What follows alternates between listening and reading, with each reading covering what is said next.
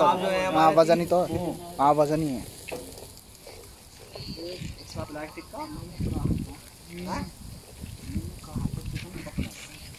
तेल लगा दिया नहीं ने